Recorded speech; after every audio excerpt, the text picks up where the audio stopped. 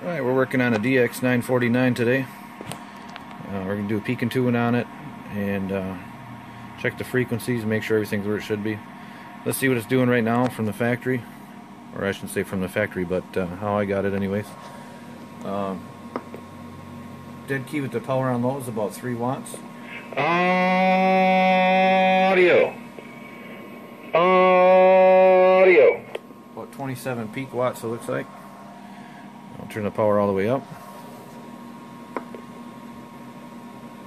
And there's about a 6 watt carrier. I don't know, for some reason the camera never likes to focus on that meter too well. Anyways, I'll show you the peak power here. Audio. Audio. The one thing I noticed if you look at the waveform on here, audio. See how it's all flat? Uh, someone's probably been in here already and either cut the limiter or uh, cranked the modulation pot all the way open. So that power that you're seeing on here probably isn't actually all useful. Let's look at it on the spectrum analyzer. Audio. Yeah, that's pretty dirty. Um, what we'll do here is we'll hook the analyzer up and put a test tone into it. And then you can see what it's really doing.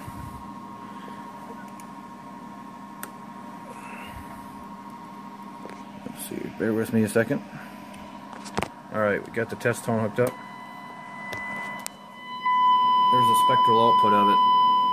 So this is channel 1 over here all the way to channel 40. And this is all bleed over and distortion right there. Because of that. Now if we set it where it should be, turn the mic gain down, it should look like a nice rounded off waveform like that. And then a nice clean signal. And if you notice the power difference here, if I turn it up before, you'll see it's 15 watts. Signal distorted, and now if I turn it down, it's down to just over 10 watts and clean signal. So when you crank it up like that, your extra 5 watts is going on all of them different channels and causing distortion. So I just wanted to show you that. Um, that's going to affect actually what it's showing on the meter too. And if we do the same thing with the microphone, let me just get it set here real quick. Audio.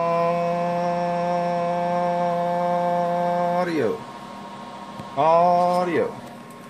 Okay, now if you watch here, I got the mic gain turned down to where it actually looks right.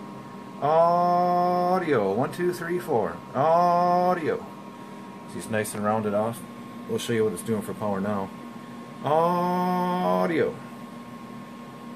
Audio. Maybe 7 swinging up to 8 average. Audio. Alright, so um, after we do the modifications this the right way, we should be able to get it doing uh, some more power than it is now and actually have a clean signal. So we'll do that and we'll be back and show you what it's doing. Uh, one thing I forgot to point out real quick is uh, checking the frequency on here on AM. You see that's off, uh, that top left number 0.593. It's off by almost 600 hertz. Uh, factory specification on most radios is plus or minus 300. Uh, so this is off frequency by a decent amount. We'll get that on frequency.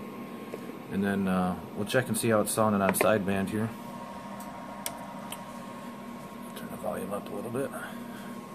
Audio. Audio. One, two. One, two, three, four. How well you can hear that, but it sounds like it's off a little bit. Audio. One, two, three, four. Audio. So it's a little off on upper side. Here's lower side band. Audio, one, two, three, four. Audio. So that's way off frequency too. So we'll uh, we'll get that stuff aligned and on frequency and where it should be. All right, we'll be back. Okay, uh, just wanted to show you something now. We got the radio open here. Remember how I was showing the modulation was distorted? Right here is supposed to be a transistor, Q39. The modulation limiter. Someone's already taken that out. It's never recommended to take a limiter out. That's why that waveform was flat topping. And uh, the modulation adjustment in here won't even do anything. So I'm going to have to put that transistor back in as well and then properly set this thing up how it's supposed to be. Okay, we'll be back. Alright, we're back with the Galaxy DX949 here. You're going to be pretty impressed how this turned out, man. Now I'll show you what we all did. We put the audio limiter back in over here that was missing before. Uh, back here, whoever shop worked on it previously had tried to do a modification and they uh, took out this resistor that's normally in here and they had just put a diode in. It's supposed to be a diode and a resistor when you do that modification, so we did that one the right way. And uh, when they did that, there was a capacitor that was mounted on the top side, and they must have pressed on it or something, and they ended up breaking the trace. That was right here on the bottom. That's where the cap originally went. Uh, and that's why your modulation meter wasn't working. So you took the cap off the top side, mounted it on the bottom here, connected it to the proper spots, and now your modulation meter works again. And then the best part, we went ahead and did a dual final upgrade on this. Uh, so instead of a single 1969 final, you now have dual MOSFETs, dual IRF 520s in here, the Galaxy MOSFET. Little heat sink on back there to, to help with the heat dissipation. And uh, also upgraded this power regulator here uh, from the factory that comes with a 7 amp, I believe it is, and uh, it's a 12 amp one in there now. And then this other regulator right here, that was also upgraded. That's your audio amplifier. So the one that's in there now is rated for uh, 7 amps. The factory one is 3. That really makes your audio a lot louder. So let's turn this thing on and show you what it's doing now for power. Alright, so on the meter over here, get some light on it. Now this is on low doing just under a 1 watt dead key, or right around a watt. Okay, on the left side there. Audio. Audio. So there's your average power. Audio. Right up to about 4. And your peak over here, Audio. about 30. And now we'll crank the RF power up. 5 watt dead key. Audio. Audio. Audio. About 15 average. And here's going to be your peak power. Audio. Audio. One, two, three, four, five. So uh, that's pretty good improvement over what it was doing before. And then, uh, let's see here, we'll show you on the scope what the audio looks like.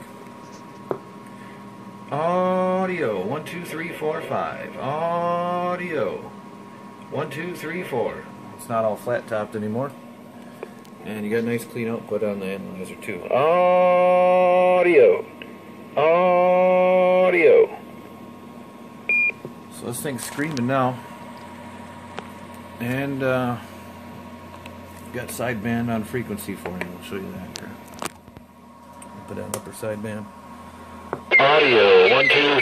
One, two, three, four, five. Audio. Audio. One, two. So there's upper side. Here's lower side, man. Audio. Audio. One, two, three, four, five. Audio. Audio. Alright. There you go.